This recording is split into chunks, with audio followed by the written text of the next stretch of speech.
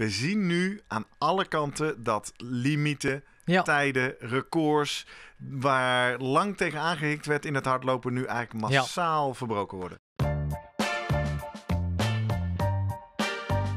Welkom bij de Slimmer Presteren podcast. Jouw wekelijkse kop koffie met wetenschapsjournalist Jurgen van Tevelen en ik, middle-aged man in Lycra, Gerrit Heikoop. Over sport, onderzoek en innovatie. Voor mensen die hun grenzen willen verleggen, maar daarbij de grens tussen onzin en zinvol niet uit het oog willen verliezen. In deze aflevering praat ik met Jurgen over de hardloopschoenrevolutie dendert voort. Toch maar aan de dikke zolen. De innovatieve hardloopschoenen waarmee Eliud Kipchoge de marathon onder de twee uur afraffelde, hebben inmiddels concurrentie gekregen.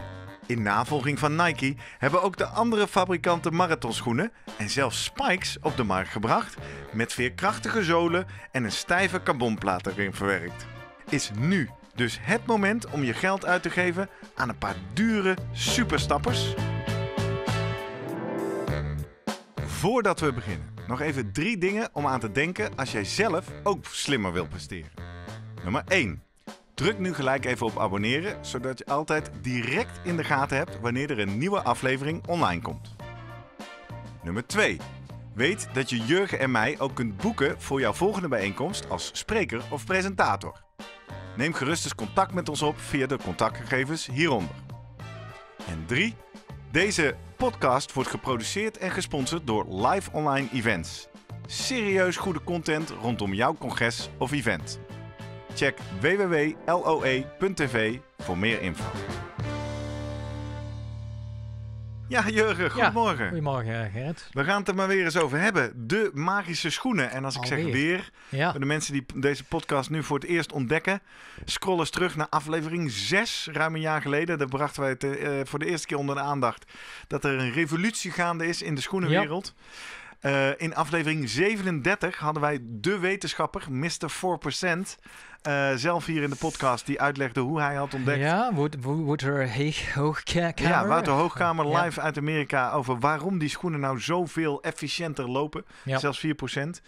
En nu moeten we er toch maar eh, weer over gaan hebben, want er zijn nieuwe schoenen op de markt, spikes in de atletiekwereld. Er zijn nieuwe onderzoeksdata bekend. En eh, misschien Ja, wel en voorschrijdend inzicht hier in de podcast. Zo gaat dat. Ik was eh, natuurlijk de eerste aflevering, die nummer 6, was ik toch best wel eh, sceptisch. en- Heel sceptisch. en, ja, hè? Volgens mij was onze conclusie, Ja. laat maar zitten joh, al is het alleen maar omdat ze maar 180 kilometer meegaan. Nou ja, dat was één, hè? Ja. Wat, waar- waarom nog meer? Het was Non-responders. non-responders. Oftewel, toch ook weer even denken aan de mensen die voor het eerst luisteren. Dus mensen in de studie op wie de schoenen juist geen of averechts effect hadden. Ja, dat was duidelijk. Eh, ze waren inderdaad eh reet duur. Het was Lelijk. toen ook nog lelijk. Niet duidelijk van eh, of, er, of er regels zouden komen. Die zijn allemaal gekomen. Ja. En we waren een beetje jegens Nike ook van ja. Eh, met hun patenten allemaal. Ja, eh, oneerlijk. Dit, dit doe je niet. eh, against the spirit of sports, Ja, zullen we maar zeggen. In de, in de geest van de doping Ja, en nou, inmiddels ben ik toch langzaam, zoals dat dan gaat, met voortschrijdend inzicht, zie ik dat het, ja, dat er is een nieuwe dimensie aan hardlopen gekomen. Duidelijk. En Ja, schoenen spelen daar een rol in. Voor de mensen ook weer die die aflevering niet geluisterd hebben. We zien nu aan alle kanten dat limieten, Ja, tijden, records, waar lang tegen aangehikt werd in het hardlopen, nu eigenlijk Ja. massaal verbroken worden. en dat is inderdaad, kijk, op, op marathon eh, niveau is het duidelijk, volgens mij als je de top 10 of top 50 kijkt van snelste tijden. En dan eh, even terug gaat, wanneer zijn ze gelopen? Ja, dan zit daar gewoon 80% is de afgelopen twee jaar gelopen. Ja, En kijk je even op wat voor schoenen, dan is het ja, vaak of die Nike Vaporfly. Dat was de, de 4%, waar Ja. Wouter Hoogkamer dus als eerste. onderzoek naar deed. Ja, en daaruit kwam dat ze 4% energiezuiniger liepen. Mhm. Nou, hoe mat hij dat? Hij zette ze op een loopband en hij ging het zuurstofverbruik meten. Bij verschillende snelheden op die loopband. En dan zag hij eh, gemiddeld genomen een, eh, een minder verbruik van 4%. Nou, en daar had hij nog wat mechanische studies gedaan om te kijken van hoe zit dat. Heeft te maken met het, het schuim wat eh, goed eh, indrukbaar is, maar en daarmee energie kan opslaan. Maar ook weer heel snel terugveert, waardoor die energie die je opslaat in die zool, die al extra veel is, omdat het een dikke zool is, ook weer snel terugkomt met heel weinig energieverlies. Ja. Dat is één. En daarbij die, die carbonplaat, die eh, ja, eh, heel van ja, on, onbuigzaam bijna is, in een bepaalde vorm gegoten. En dan eh, die er dan samen voor zorgen, eigenlijk voor dat effect. Ja. Eigenlijk de, de, dus je, je voeten dusdanig ondersteunen dat het energieverlies wat je normaal hebt bij elke pas die je zet, dan moet natuurlijk je lichaamsgewicht moet opgevangen worden. Ehm, daar, ja, dat, dat kost kracht. Ja. En eh, dat, dat, je, je spieren en de gewrichten zijn daar, doen hun uiterste best om dat zo goed mogelijk op te vangen. En eigenlijk eh, zonder verspilling van energie. Nou ja, blijken dan die schoenen daar Die toch wel daarbij. bij te helpen. We gaan Dan- straks in deze aflevering nog even zoomen met Vroemen. Om te vragen Ja. aan hem of hij inmiddels al zijn atleten die schoenen aanraadt. Want, nou, nou dat, ik ben heel benieuwd. Het is he- heel normaal nu geworden. Want ze Nou, ja, lopen want de er trigger allemaal op. Voor ja. deze aflevering, een week of vier geleden, aflevering 49, spraken wij met Thijs Zonneveld. Ja. Eigenlijk in het kader van de doping specials. Maar in de laatste minuten kwamen we te spreken over triathlon. En wat mij heel erg raakt, is dat zei: Ja, ik ga me verdiepen in triathlon. En ik heb een maatje hier Ja, in de straat. precies. En die heeft al die Nike, Nike Vaporfly schoenen. Die mag ik lenen. Dus met schoenen zit Ja. ik vast goed. Toen dacht ik: Wow, triathlon is al een spulletje sport. Ja. Maar blijkbaar is er dus nu een soort perceptie dat je ook die eh, dikke het- schoenen moet Het hebben. staat niet op de dopinglijst, dus... eh, Even weer checken, Jurgen. Heb jij ze al? eh, nee. Nee, ik heb, je er wel eens op Nee, gelopen? ja, maar ik ben een recreant. Hallo. Ja, ja, maar ja, Ja. toch wel. Ook op Ja, zoek naar nee, ik ben wel heel benieuwd. Ik heb ze natuurlijk één keer aangehaald in de schoenenwinkel. Eh, lekker bouncy, zeggen ze ja, dan. Ja, Maar ik moet zeggen, ja, nu los van... Nou, er zijn, nou, Nike heeft natuurlijk zijn Next en zijn, zijn Alpha Fly. En wat ik dan wel grappig vind, is schijnbaar... Er lopen minder mensen, of ook die topatleten, op die Alpha Fly. Die is dan weer extra hoog. Ik denk dat je daar misschien wat instabieler van wordt. oké. Volgens mij de Next Percent, dat is degene die de Dat is de meeste kiezen. schoen. Ja. Maar, Even toch ehm, een disclaimer. Hè? Wij roepen in deze podcast wel eens op dat we openstaan voor Ja. sponsoring. Wij zijn deze aflevering op geen enkele wijze gesponsord. Dus als wij positief of negatief zijn over Nike of een ander merk, dat is Ja. onze eigen mening. Andere eh, eh, fabrikanten die hebben ook hun eigen, nou ja, Vaporfly met eh, andere naam natuurlijk, waarbij Adidas zeker in het oog springt, omdat die halve marathon in Valencia, volgens mij vorig jaar, daar won Candy, Kibiwot Candy, een, een nieuwe wereldrecord halve marathon op Adidas schoenen Hey. opvallend dikke zolen. Maar ik heb daar, eh, ja, iemand heeft die ook doormidden gezaagd. En eh, dat is net anders schuim. Want, eh, nou, dus het, het maakt, het hoeft niet speciaal dat P-bak schuim te zijn. Nee. Er zijn wel meer schuimen die goed indrukbaar zijn en veerkrachtig. Zij gebruiken ook carbon, maar het is niet een, ge- een geheel eh, een, een, uit één stuk een plaat. Wat zij gedaan hebben is schijnbaar een stuk plaat over een groot gedeelte van de voet. Maar dan onder de tenen eigenlijk van die koolstof, eh, van de carbon strookjes. Oh, Dus weer een andere benadering. spring- springtenen. Ja, Oké. en dat is natuurlijk, als ik eh, me herinner wat Wouter Hoogkamer uitlegde, ook in onze podcast met hem, ja, dat daar is het een, eh, juist onder de middenvoetsbeentjes, ja, daar is het, eh, eh, daar treedt nogal vaak energieverlies op. Ja. Bij de afwikkeling van de voet, bij de afzet. En als je daar dat dan de, de, de vinger op kan leggen daar, om, om daar de voet te helpen. Ja. En dat eh, eigenlijk de beweging daar nou, in goede banen geleid wordt en beperkt wordt. Dat heeft dan Adidas op hun manier gedaan. Moet ik wel eh, ook denken, we snappen nog echt helemaal niet goed precies zit. Want ik, eh Hoog- Biomechanisch bedoel je? We Ja. kunnen het niet uitleggen wat er Nee, nou maar we hadden het ook met de hoogkamer over. Is het nou paslengte of gaan mensen anders lopen, voorvoet, uh, hiel anders? Nou, het lijkt allemaal niet zoveel uit te maken. Dan krijg je moeilijk eh, de vinger achter. En hoogkamer, ik weet niet of het bij onze podcast zijn, maar ik las laatst nog. Hij heeft een interview gehad in de running.be. Mhm. Ehm, Gerenommeerd Belgisch Ja. hardloopplatform. en daar heb ik een stuk van gelezen. En dan zei hij, ja, we zijn nu bezig met die eh, een beetje ontrafelen waar het geheim in zit. Dus wat hij dan doet, is die carbonplaat, die, die, eh, die, die, die breekt hij op verschillende plekken. Ja. En dan gaat hij kijken, verandert er iets aan die schoen? Nou, en eh, in eerste instantie verandert er niks. Dan zou je, dus je hebt geen continue plaat dus nodig. Hmm. Het gaat er dan om waar die carbon precies op de juiste plekken zitten waarschijnlijk. Dus het is, eh, ja, in die zin denk ik, nou, misschien staan we nog echt aan het begin. De kinderschoenen. Ja, nou, hey, die, is, die is leuk. Ja. Ehm, maar het fijne is, eh Tokio jaartje uitgesteld. Fabrikanten hebben hun nieuwe schoenen op de markt gebracht en ze lijken allemaal een dikke zool te hebben en wat met carbon en ze gaan hard. En iedereen loopt er lekker op, en lekker Ja, bouncy. want eh, En, toch eh, dan ook maar eh, met de billen bloot. ik heb er ook nog niet opgelopen. Maar ik heb natuurlijk in lijn met onze podcast. Ik denk, ik moet eh, consistent zijn. Ik eh, ga een paar jaar naar zo'n eh, schoenenwinkeltje waar ze dan ook zo'n looptest laten doen.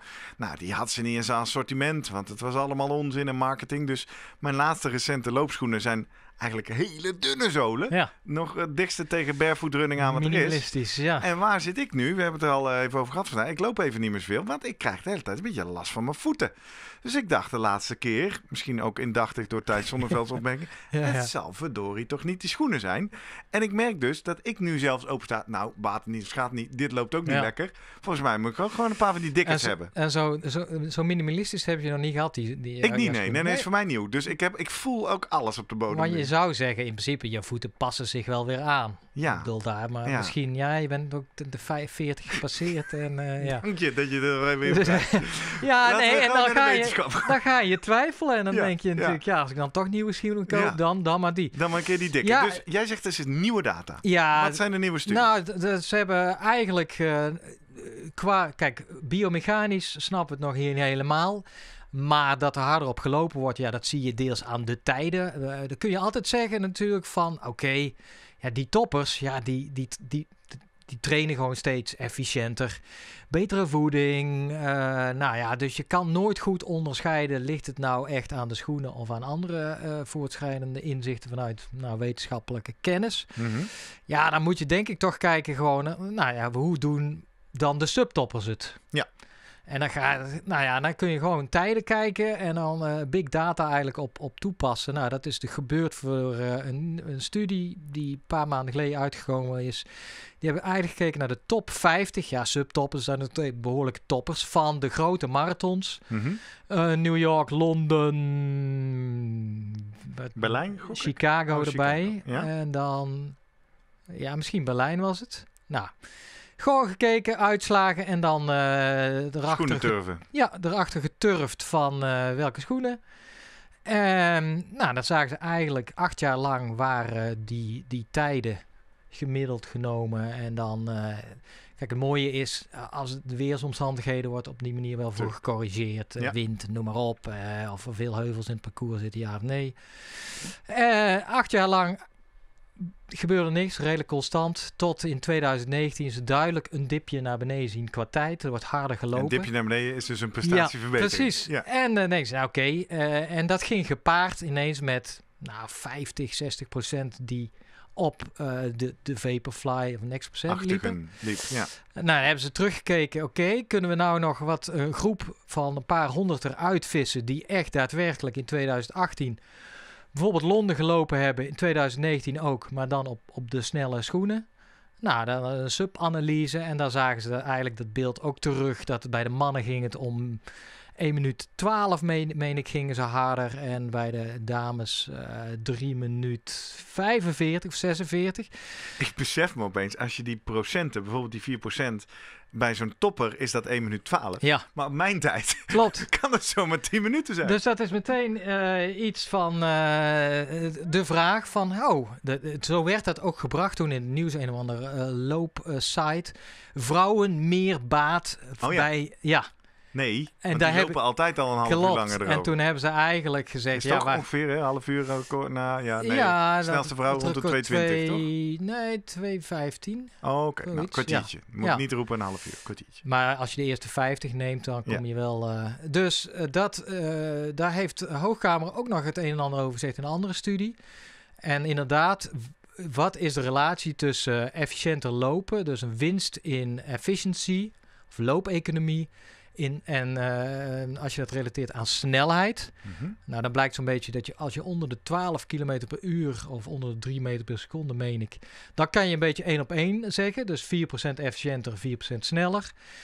Maar ga je gewoon sneller dan dat, en dat doen natuurlijk die toppers steeds meer, ga je richting zelfs bij de sub 2 eh, naar de eh 20 km per uur. Ja, dan ga je al eh, richting de twee derde daarvan, van die 3, 3% wordt dan 2%, 4 wordt dan 3. Dus als je, hoe harder je gaat, hoe Ja. minder relatief voordeel je hebt. Precies, in je snelheid, klopt. Kunnen we die ook naar beneden omdraaien? Dus kortom, Ja, hoe langzamer je gaat, hoe dat meer denk voordeel? Ik, dat denk ik Want in uiteindelijk. eerste instantie zei Ja. Wouter Hoogkamer bij ons... Wacht even, deze waarden zijn we allemaal getest bij mensen die heel snel gaan. Hè? Ja. En ik weet niet zeker, als je langzamer gaat... of je wel diezelfde voordelen hebt Klopt. van die veerkracht. Ja, dus dan nu is eigenlijk dat, dat is één. Dus je moet nu uitgaan van. Ten eer- wat we niet weten is, we weten alleen maar Vaporfly was 4% bij die groep. Ja. Eh, toppers eigenlijk ja. bij snelheden van 14, 16, 18 km per uur. Nou, en met daarbij ja, variatie. Dus bij de ene eh 0% en de andere 8%. Nou, de, de vraag is, maar dat, mensen denken toch dat de next percent nou ja, de naam zegt het al meer dan 4% gemiddeld oplevert. Dus dat je Mhm. een hogere eh, eh, winst hebt in je efficiëntie. Ja. Ja, en dan is het inderdaad van ja, eh, de vraag of subtoppers daar ook die, nou pak een beet, 7% winst halen. eh, ten opzichte van top, weten we niet. Nee, Maar laten we daar maar van uitgaan. Ja, en dan is het van hoe langzamer je loopt, hoe meer dat winst voor snelheid betekent. Ja, dat heeft eigenlijk puur te maken ook met eh, luchtweerstand. precies. Hoe harder jij loopt, hoe meer meer. last jij net zoals op de fiets zit. Ja, en dan is het gewoon een, een extra procentje of een paar procent winst in efficiency zet zich dan steeds minder om in een, een, Ja. eh, in een, in een snelheidswinst. Ja, want dat is een exponentiële groei hè, Ja. van die luchtweerstand. Ja, zeker bij Bij dat soort eh, snelheden. ja. Nou, dus dat is eigenlijk de, het verhaal. Ehm, dus we weten nog heel veel niet. We weten heel veel niet, maar wat in ieder geval duidelijk is... dat de toch wat sceptische Ja. negativiteit tegenover deze marketinghype... nu lijkt om te draaien naar voordeel van de Ja. twijfel van deze marketinghype. Wij zitten hier nog steeds allebei zonder die schoenen zelf veel te gebruiken. Ja, Ik denk opeens, daar is een opening voor wat luisteraars- en kijkersinteractie. Eh, ik vermoed dat een aantal, en misschien wel vele van je, dat jij nu zit te luisteren of te kijken en die schoenen hebt. Nou, eh, vertel eens, waarom heb jij ze aangeschaft? Wat was doorslaggevende reden? En natuurlijk, wat merk je ervan? En ik ben ook wel op zoek naar die mensen die dan zo eerlijk zijn om te durven zeggen, nou, ik merk eigenlijk helemaal niks van. Maar ja maar goed. dat is het lastige is denk ik ook van je, je hebt geen loopjes meer of, of marathons Ja, dat is waar. Je voor de recreanten. Dus je kan meer. ook, ja, je kan je niet... eh, Je gaat niet eh, zo makkelijk voluit. Nee, dat is Nee. één. En dan eh, het andere is, ja, ik ben ook benieuwd als je nu aan de start verschijnt van, nou, pak een beetje een Rotterdam ergens. De marathon van Rotterdam. Ja, hoeveel mensen zullen dan die schoenen dragen? Ik vrees heel het dan, veel. Ja, Tuurlijk. ook omdat Want andere ook merken het hebben. eh, Even toch Ja. terug naar Thijs van Zonneveld's opmerking. Als je dingen voor het eerst nieuw gaat doen, je wil, je wil alles wat je kan controleren, wil je natuurlijk doen om jezelf zo goed mogelijk aan de start Ja. te krijgen. Nou, als dat een paar nieuwe schoenen kopen is, waarvan gefluisterd wordt dat ze magisch zijn. En we weten, Hoogkamer zei het nog van, eh, ze kunnen veel langer lijken ze mee te gaan. Hè? Ja, in dan geval, in de eerste ja, studies leek te blijken. dat, dat op zich het mechanische effect lijkt wat uit te doven, maar het, eh, het, de winst op eh, economisch lopen. bestaan. Ja, nou, dan, dan denk je ook, nou, als ze prima gewoon net, net zo lang meegaan als de anderen.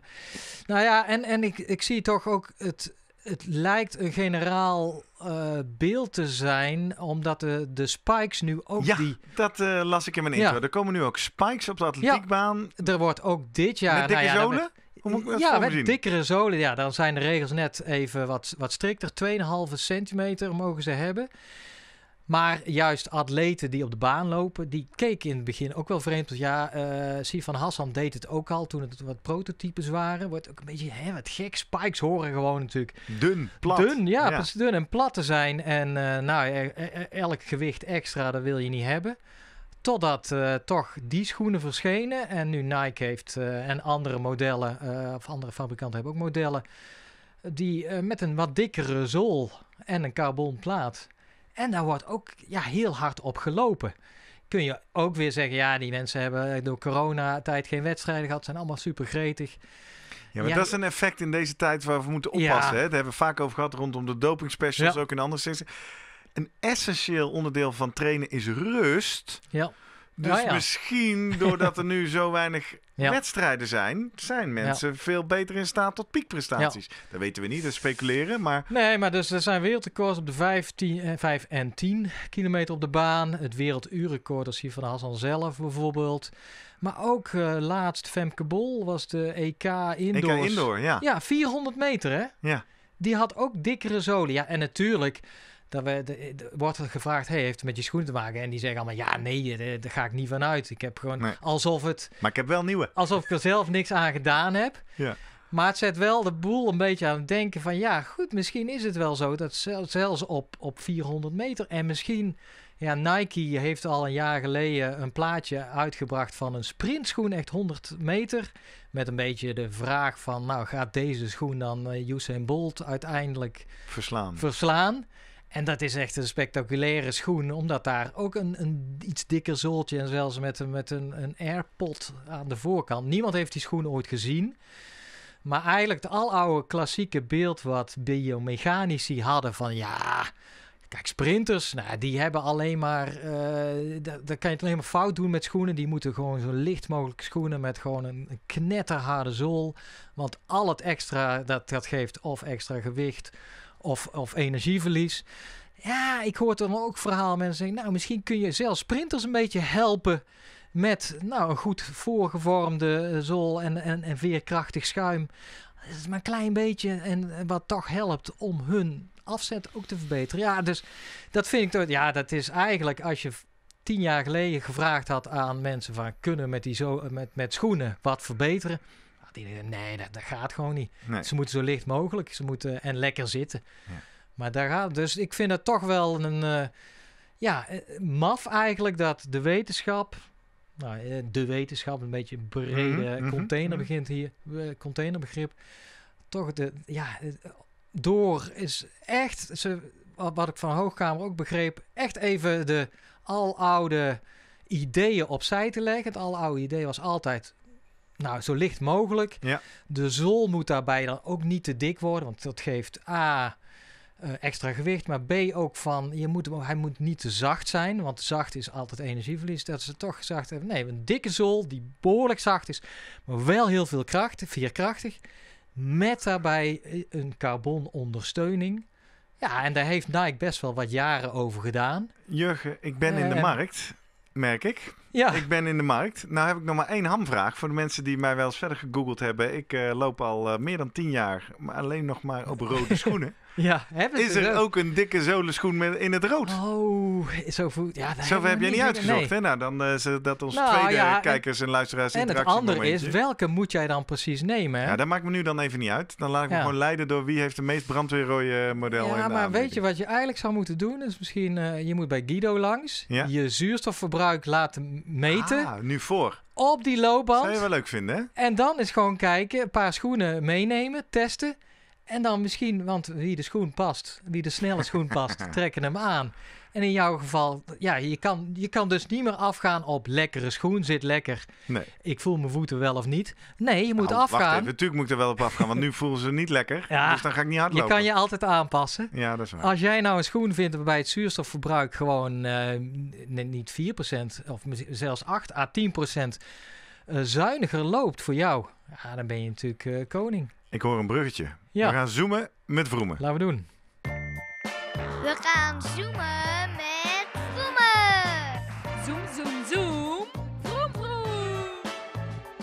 Guido, Hey. goedemorgen. Goedemorgen. Goedemorgen. Hey, welkom. We hebben het over eh, supersnelle schoenen. Alweer in de Slimmer Presteren podcast. Eh, Jurgen en ik hebben net bekend dat we enigszins omgeslagen zijn door alle nieuwe data, door alle Behoorlijk. prestaties. Door, eh, en, en wij bespeurden een paar weken terug een soort sfeertje eh, rondom triathlon. Dat als je nu wilt triathlonnen, dan moet je dikke zolen hebben. Dan moet je dat soort schoenen hebben. En toen dachten we, laten we eens even aan onze bevriende topcoach vragen of hij inmiddels ook adviseert dat al zijn triatleten of rennende eh, atleten op die dikke schoenen met carbonplaten moeten rennen. Nou, ik, ik, ik- er zijn er al die dat al eh, vanuit zichzelf natuurlijk eh, geïnteresseerd zijn geraakt. Van, die hebben het ook gezien en gelezen. Die denken, nou, die schoenen ga ik ook eens proberen. Dus daar hoef ik eigenlijk nauwelijks eh, een actie op te ondernemen. zeggen van je moet op die schoenen gaan lopen, want die zijn sneller. Dus de meeste triatleten die ik dan begeleid, ehm, die hebben ze ehm, van een of ander merk. Want ondertussen heeft elk merk ook wel zijn eigen schoen met een carbonplaat erin. Dus wat dat betreft hoef ik daar niet achteraan te zitten. En hebben eigenlijk al die snelle mannen en vrouwen hebben die schoenen al gekocht. En wat zijn de ervaringen? Nou, eigenlijk heb ik nog niemand gehoord die, uh, die het niks vindt. Het meeste is, er zijn er die zeggen, oh man, het geeft een soort um, nou ja, vleugelsgevoel. Hè? Dat je ja, veel makkelijker, harder loopt. Um, ze zijn wel, um, ja, maar, sommigen vinden ze wel hard. En, en omdat ze nou ja, weer heel reactief zijn. Het zijn ook hele dunne schoenen, hè, die Nike Vaporfly, zijn hele dunne bovenwerk, dus dat zijn ze wel weer kwetsbaar. Hè, dus ze zijn ook zo'n stuk. En dat is natuurlijk weer een nadeel. Hè, dan, dan heb je ook alweer, denk ja, uh, moet er ook nog heel zuinig mee zijn van ja, eigenlijk moet, wil het er ook niet te vaak oplopen, want dadelijk zijn ze al stuk in de training, dan hebben we nog geen wedstrijd erop gelopen. Ja, dat, ja, dat is natuurlijk ook niet de bedoeling. Nee. Heb jij, uh, we hebben het wel eens vaker in deze podcast over gehad. Je bent zelf niet meer zo aan het racen, wel veel aan het sporten. Heb jij ze zelf? Nee. Nee, ik heb ze niet zelf. Ik ben zelf nu uh, ondertussen uh, erg weinig aan het lopen. dat wil ben ik een beetje last van een horrorvoet. die dat niet wil. Dus ja, dan denk ik, ja, dan heb ik die schoen ook niet nodig. Want dan wordt het denk ik misschien alleen nog maar erger. op mijn hal, hak en, en, en Achillespees belast. Dus dat heb ik nog even, nou ja, nog even in de ijskast gezet. Oké. Maar is dat eh, eigenlijk nog terugkomend op jouw eerdere punt? Dus jij hebt zoiets, ja, het, eh, eh, ze lopen wel snel, maar niet altijd comfortabel. En dan je eigen verhaal over een beginnende blessure of een blessure.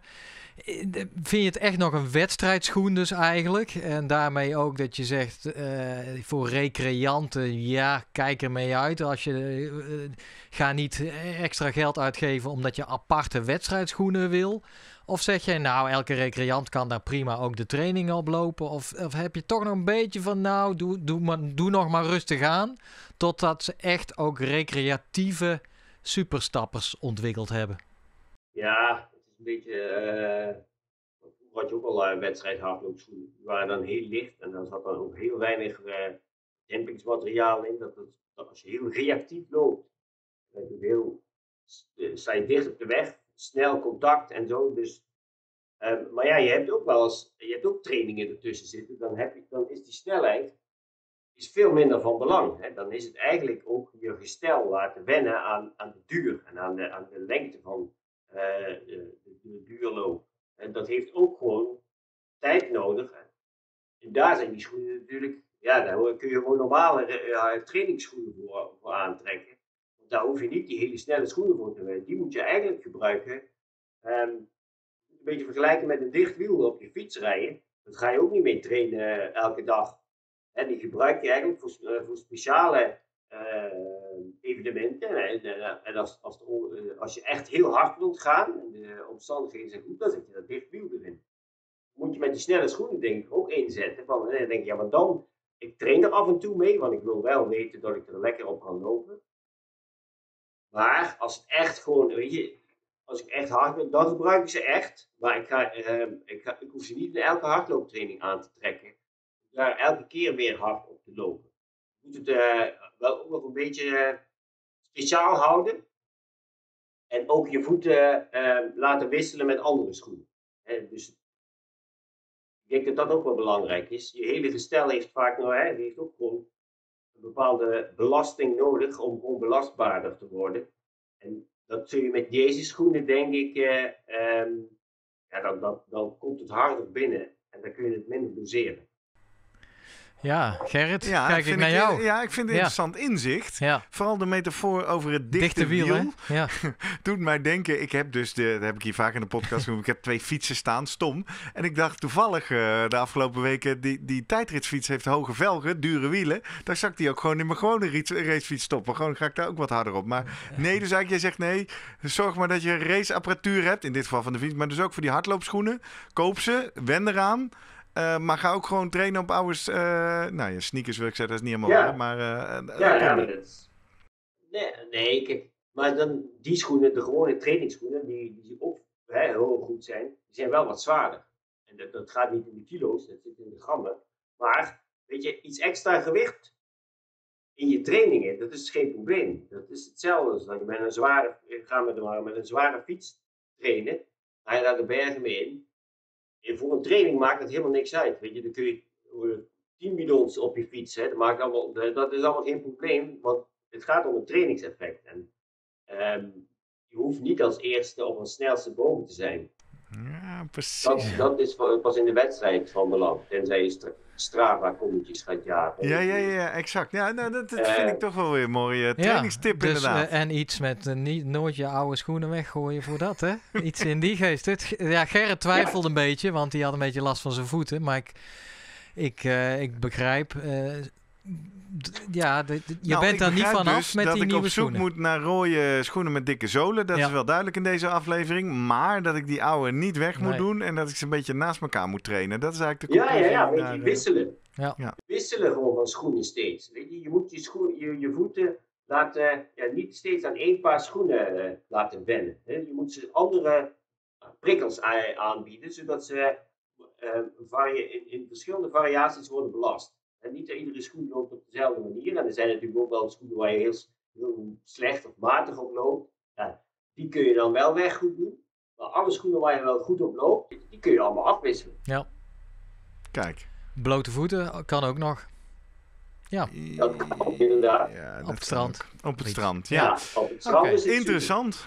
Ja, Ik zeg, eh, ik heb weer wat geleerd. In dit keer eh, in, het, in de, in de schoenen-epos. Ik, ik vermoed dat wij in deze podcast een soort rode draden krijgen over schoenen. Ik vrees, Guido, dat we ook nog wel eens terugkomen bij je over die vermogensmeter. Daar beginnen vaste luisteraars natuurlijk ook Ja. een soort ontwikkeling in te zien. nee, maar En, ja, eh, variëren in het materiaal, dat vind ik ook een rode draad. hier, variëren dat in dat het toch wel materiaal. goed En is. misschien lieten Ja. we ons in het begin toch iets te veel leiden door jouw gebrek aan wetenschappelijke basis om dingen heel snel af te serveren. Waarvan we nu toch Ja, zeggen, ja. "Mwah, misschien wel. Ja. Ik, eh, ik denk dat er een update komt als we echt eh, dikke schoenen aan onze voeten hebben gehad. Dat we dan maar eens moeten vertellen hoe het eh, ervaring, voor ons is. Ja. Tot zover deze afleveringen over de ontwikkelingen van de superschoenen, de superstappers. Dank voor het luisteren van deze hele aflevering. En we zijn benieuwd om van jou te horen. Ik heb al een aantal keer in deze aflevering gevraagd om advies. Onder andere, waar vind ik rode eh, schoenen met carbonplaten? Als je ze weet te vinden, stuur het linkje naar ze door. Bijvoorbeeld via Twitter of Instagram naar @slimmerpodcast. Of je mag hem ook mailen naar post.slimmerpodcast.nl. Of reageer op onze website www.slimmerpodcast.nl. Daar vind je een pagina van deze aflevering. En dan kun je in de comments ook even jouw linkje delen of jouw ervaring delen. Of misschien waarom je zegt... Nou, Gerrit en Jurgen, jullie laten je toch meezuigen in de marketinghype. Ik heb nog wel wat redenen waarom je niet eh, met deze superschoenen op stap zou moeten. Tot zover. Guido bedankt. Guido, dank je. Jurgen, tot volgende week. Tot volgende week.